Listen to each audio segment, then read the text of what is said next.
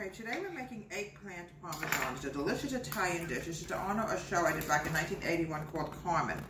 It was a lot of fun. Done with the Moment Lyric Uncle Company. Well, today we're making eggplant parmesan, a delicious Italian dish. You dip it into the egg and then the Italian breadcrumbs. Okay? Keep cutting. I think we're going to need two eggplants today.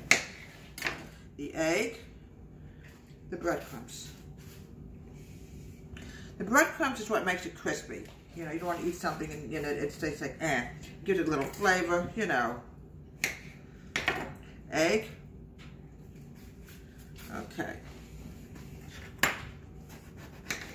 Okay. This is what an eggplant actually looks like, folks. It's really a delicious summertime fruit. Oh, it's so good. Go. This is very simple to record, folks. You just put tomato sauce over it, spaghetti sauce, you have to keep it covered. Here we go.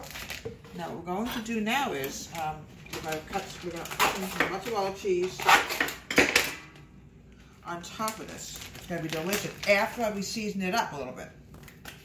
Garlic powder. Salt. You need a lot of salt, folks, in the summertime because it's hot outside. Pepper and Italian seasoning. Always make sure your seasonings are tight because one time we almost had an accident. Here we go. Now, we're going to put over it a little bit of mozzarella cheese. Not a lot, just a little bit. You don't need a lot of The main thing is, folks, always use parm cheese. It got its name for a reason. All right. And parm cheese. That's why it's called eggplant parm. We're to bake this in the oven for a good, a good 45 minutes to an hour. Delicious, wonderful eggplant parmesan. It's a delicious Italiano dish.